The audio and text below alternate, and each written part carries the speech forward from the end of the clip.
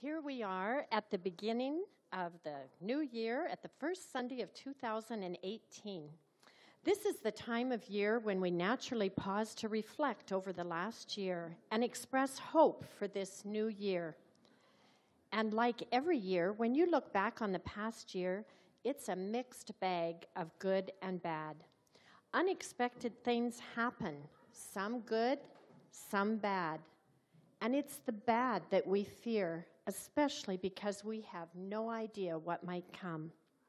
So, at the beginning of a year when who knows what might come, here's a promise from God.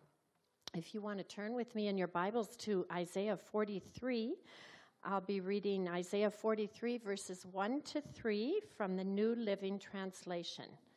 Isaiah 43, verses 1 to 3. But now, O Jacob, listen to the Lord who created you. O Israel, the one who formed you says, Do not be afraid, for I have ransomed you. I have called you by name. You are mine. When you go through deep waters, I will be with you. When you go through rivers of difficulty, you will not drown. When you walk through the fire of oppression, you will not be burned up. The flames will not consume you. For I am the Lord your God, the Holy One of Israel, your Savior. The promise of God's presence, this is the greatest comfort we can ask for. The psalmist in Psalm 9 reminds himself who this Lord is that is with him. If you'd like to turn to Psalm 9 now, Psalm 9, verses 7 to 11. I'll be reading from the NIV, Psalm 9, verses 7 to 11.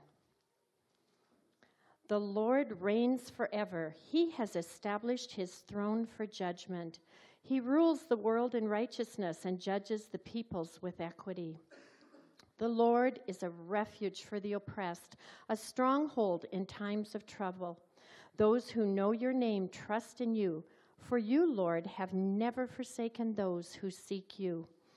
Sing the praises of the Lord enthroned in Zion. Proclaim among the nations what he has done. When we fix our attention on God and what he has done, it transforms us. The Apostle Paul, in his second letter to the Corinthians, talks about the transformation that happens in us when we fix our eyes on Jesus, the Messiah. This is a wonderful promise for us in 2018. If you want to, um, you can turn to 2 Corinthians 5 16 to 21, but I will be reading from the message. 2 Corinthians 5 16 to 21. We don't evaluate people by what they have or how they look. We looked at the Messiah that way once and got it all wrong, as you know. We certainly don't look at him that way anymore. Now we look inside, and what we see is that anyone united with the Messiah gets a fresh start, is created new. The old life is gone, a new life burgeons. Look at it. All this comes from the God who settled the relationship between us and Him, and then called us to settle our relationships with each other. God put the world square with Himself through the Messiah giving the world a fresh start by offering forgiveness of sins. God has given us the task of telling everyone what He is doing. We're Christ's represent- representatives. God uses us to persuade men and women to drop their differences and enter into God's work of making things right between them. We're speaking for Christ Himself now. Become friends with God. He's already a friend with you. How? You ask? In Christ. God put the wrong on him who never did anything wrong so we could be put right with God. The word of the Lord. Thanks be to God. How great is our God? And we learn about this God by reading our Bible. And for those of you that have read your Bible, uh, you would know and maybe noticed some of these things here that I'm talking about today. But for others of us that maybe haven't read the whole thing, it's interesting to note that the Bible uh, is primarily a series of stories. It really begins just by talking about real events. In fact, they really happened. There's way back when there were people called Abraham, and then a son Isaac and Jacob. These were real people who lived in a real place, and these events that they're described actually happened. They were kings of Israel, as described in the Bible, actually reigned. What's interesting to note about these stories is that they're not all nice stories. They're very realistic stories. There's good stuff, and there's bad stuff going on in these stories. And as we read these stories, we also find out how God interacts with these good and bad events. And it's in watching and reading these stories and hearing how God interacted that we learn about who this great God is and what he's like. And then we come to the New Testament. And again, they are describing real events. There really was a young girl named Mary who was visited by an angel. There really was a little baby that was born in a manger. There actually were wise men that came from the east, and they were looking for this new king. And this boy actually did grow up and become the Rabbi Jesus. And he was crucified. It actually happened. And he rose from the grave. That actually happened as well. The whole Bible is a series of stories of real events. And then we come to the next book of the Bible. It's called the Acts of the Apostles. And these, again, are, are real events that happened in light of this resurrection. There were 12 disciples, and they did these events. And then there was a man named Paul that came to meet Christ. And he began to write letters, and much of our New Testament are letters. Actually, he wrote to different groups of believers in different towns Ephesus, Colossae, Rome, Corinth. But we'll notice in reading these letters that the writing style changes. Now, he usually begins his letters with theology about God. What do we know about this great God? We have wonderful chapters describing God in amazing ways in the church, what God's doing. But then, if you'll read the, those letters carefully, you'll notice that usually toward the second half of the letters, he gets really practical. And he says, in light of how God has showed himself, that should show up in how we live. And he describes relationships between people. He talks about the kind of language that should be coming out of our mouth. He talks about a godly way that we should live out our sexuality. He talks about how to raise children. There's even one letter about what to do about a runaway slave. What emerges from this story, when you look through the whole of the Bible, is that the, the spirituality that's in the scriptures is very practical. It shows up in the daily details of life. And so our preaching is not just theological, but our preaching also needs to have this practical side to it. And so today, I'd like to speak to you about a very practical matter. I want to talk about how our story, the good and bad of our story, interacts with God and what He's doing in our life. And that we, what we can do to understand and live within that. And that is a natural thing to do at the beginning of the year. We're at this time where we just had all the busyness of Christmas, and before things totally start up, school starts up in a little bit, we have this little pause between the old and the new year. And it's a time when we naturally think about the past year and we anticipate the coming. And we hope that things can be better in 2018. And we wish each other a happy new year. And we say all the best to you in this coming year. And New Year's celebrations are typically marked by exuberant joy and happy celebrations because we sense that one thing is finished and a new one is starting. And so it is like a chapter is just starting. And so I've entitled the message today, The Next Chapter. Now, some of you that are younger in the audience here, let's say uh, 12 and under, do you know what that picture is of?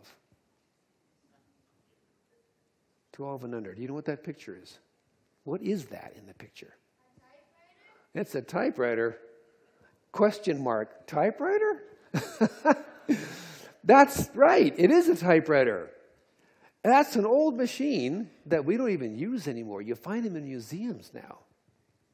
But it's an interesting picture because in order for this chapter to be written, someone has to be pressing the keys to make this chapter happen. And I'd like to use that as a metaphor that when it comes to your next chapter, you are the author of your next chapter. This coming year, you are going to make decisions about what you're going to do this coming year. And you are going to be putting in the letters that's going to show up as your next chapter. The Bible teaches us that we have free will, which means that we get to choose. The Bible also tells us that free will means your choices have consequences. And so we begin to learn that some of our choices that we make have good consequences. Some of them have negative consequences. And so at this time, when we stop and think back about last year, some things happen that you didn't choose. Maybe there was an accident. Maybe there was an illness or a death in the family. You did not choose it. You didn't put this into your letter. This, is, this wasn't your script that you wanted to have happen. And then there were choices that other people made that impacted your life. And so we're beginning to find out that this, this metaphor of writing our life story or of experiencing our life story is actually not that simple. It's actually rather complex because we don't have total control as to what comes into our chapter. When we think about it, there's actually a number of things. There's you, yes, your decisions, but then God does some things in our life. God, in His sovereign way, acts. And then there's other people that they act. And their choices have consequences into our life as well. So, in this, a little bit further reflection, we're finding out that we are not actually able to totally create our next chapter. We are invited to, but we don't have total control of it. We can influence the next year, but in the end, it's really ourself and God that have the proactive piece. Others are doing stuff that may be good or bad for us. But there is this mysterious element of us interacting with God to influence this next chapter. Now, I want to show you this in the scriptures. If you want to turn to the letter to Ephesians, Paul wrote to these people in Ephesus, and in the fourth chapter, in verse 22, there's an interesting passage here which describes this mysterious interaction between what we are doing and what God does. And here's the verse You were taught with regard to your former way of life, to put off your old self, which is being corrupted by its deceitful desires, and to be made new in the attitude of your minds, and to put on the new self, created to be like God in true righteousness and holiness. Note the language that's used here. Paul is taking spiritual things, making them really practical. He's talking about a transformed life, being made new. And there are two authors, there are two actors on this. The active command is in red. These are active commands written to us that we, you, are to put off some things and you are to put on other things. And then in the blue letters, that's the passive tense. This is when it happens to us. We are made new. by God. But you'll notice in this transformation passage here, it requires our intentionality. We don't just sit around and ask God to change us. The scripture here says that we are involved in this change process, that we have a responsibility to put off and to put on. Now, in the verses that go around this, Paul does delineate and he suggests some things you should put off and some you should put on. And it's quite the list. He says you should put off these kinds of things like deceitful desires and falsehood, anger and stealing and unwholesome talk and bitterness. Like, stop that stuff. Just put it off. And instead, put on speaking truthfully, honest work, generosity, upbuilding speech, forgiveness, these kinds of things. And the letter here that is written says that we are responsible to proactively do this kind of thing. So rather than sitting around and just saying, Lord, would you change me? Would you take away my anger? Paul is saying, you need to put that off. You need to step up and stop that stuff. Take some responsibility for your speech and stop that kind of talking. And instead, put this on and consciously do these things. And while you are doing it, God, in His mysterious way, is working on you and He's making you new. But He's waiting for you and me to actively engage this process. So when we think about this coming new year, this new this next chapter, we should take this concept of putting off and putting on and saying, how does this work? When we do this putting off and on, here's where it happens. We take on an entirely new way of life. It's a God fashioned life, a life renewed from the inside and working itself into your conduct as God accurately reproduces his character in you. So here's the blue letters. This is the amazing thing that God is doing. While we are actively obeying the putting off and the putting on, God does this work in us. So, in our next chapter, when we think about this year, there are some things that we should be thinking about putting off. And there's some things that we need to put on. And this is your work. This is the part of our lives that we need to take active responsibility for. So there's a couple of other ways of putting off and putting on, and other words we could say. Let's put it this way. In the next chapter, there are some things that should stop in your life. And there's some things that should start. And we are invited to enter into this and to think about it. What needs to stop in this coming year? What in your life should stop? And what do you need to start? And so these are both involved in change. Change involves stopping some things and starting others. One mistake that we can make is that in our New Year's time, when we think about the coming year, we just talk, we just think about starting things. And we add more to our list. And we simply keep adding. But the reality is that most of us are already so busy that we are maxed out, and to be adding anything more is not likely to happen. There has to come some things that stop or change, and some things that then start. So when we think of that list that Paul gave us, you know, the stopping stuff, it was all really bad stuff. And most of us would say, well, you know, what? I don't want to do those things. I don't need to stop that because I'm not maybe doing that much. But I want to suggest to you that when it comes to evaluating what needs to stop and start in our life, if we want the best that God would have us do in 2018, we might have the harder choice of deciding what is best to do. And when we say a big yes to something, it will mean saying no to something else. And when it's a lot of good things that we're doing, but we're too busy, how do you go for the best? I want to suggest we take a look at this. Your next chapter, you, here's all the kinds of things that is surrounding us in our life. If we're going to be living, you're likely doing all these things. You've got a home that you're living in, and you have a relationship and people within that home.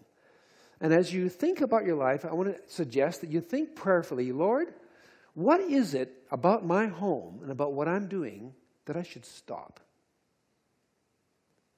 And what are some things in my home that I should start?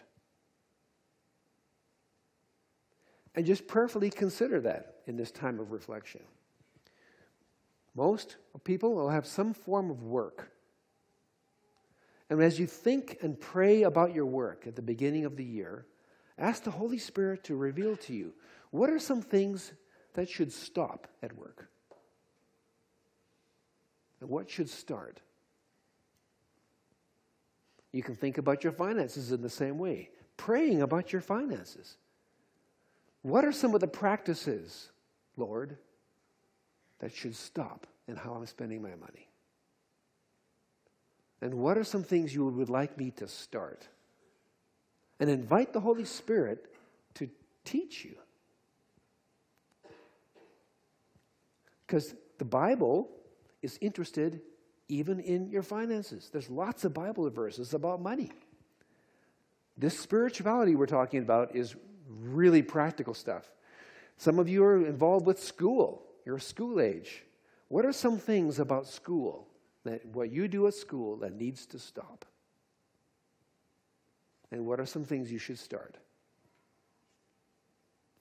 We often have outside activities, maybe sports and things. What should stop about that? Is there anything that should start there? What about church? Your involvement here at Bethel? What are some things as you pray about your involvement and your time here? What are some things that God might be prompting you to stop? And what might be He prompting you to start? Same with your hobbies. Friends, the relationships you have with people. What are some things you should stop about? What's going on there? Think and pray about your friendships. What should stop? What should start? And actively obey God's promptings. Now, what's really helpful is if you can do this with a journal. You just sit down with your pen and your paper and you ask Jesus to talk to you about these things. And as you feel the impressions or you have the thoughts that come to you, just write them down. And just actively listen to the promptings of the Holy Spirit. As you do this, and you look at all the complexities of life, one thing becomes pretty obvious, and that is we are busy people.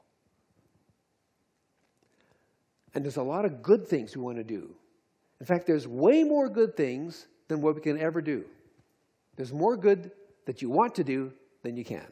And we come to this really hard piece of prioritization. What is most important in each of these areas? You can't do them all, but what's most important? What's the most important thing that should happen at home? Maybe you'd like to start five new things, but what's the most important one? Maybe two, but no more than that. What's the most important thing about balancing all these things? You may have to say no to some very nice things, some good things, because your priority is higher than just trying to do everything. When we try to do it all, we end up stressed. We end up not being able to do it all. Another practical thing then is to put all this into some form on your calendar. How are you going to live out what God has been saying to you? Because if you don't fill your calendar, someone else will. And you might end up living a life that you hadn't intended. But at the beginning of the year is the time when we naturally are wishing that things could be different in 2018. And the scripture invites us to put off and to put on. And in the process of doing that, the miracle happens that you end up taking on a new way of life, a God fashioned life, a life that is renewed from the inside and begins to work itself out into your conduct as you listen to God and He begins to reproduce His character in you. I think that is a wonderful New Year's prayer. And I invite us to pray that. Let's just pause to pray. Oh God, when we read the scriptures, we see how interested you are in the details of our life. You care about how we raise our kids. You care about how we spend our finances. You care about the relationships we have with people. You care about how we work. And you want your Holy Spirit to come and shape us from the inside out in all of these areas. And Father, I pray for these your people that hear the sound of this message. Lord, I pray that the aspirations that we sense in our heart, our desire that 2018 can be something different, can be fanned into flame by your Holy Spirit. And Lord, we will actively listen and by your grace put off some things and put on what you're prompting us to do. And Lord, we want to be obedient. In Christ's name we pray. Amen. Look at what the scripture says. Now, God has given us the task of telling everyone what he's doing. We are Christ's representatives, and God uses us to persuade men and women to drop their differences and enter into God's work of making things right between them. May that be true for you in 2018. Amen.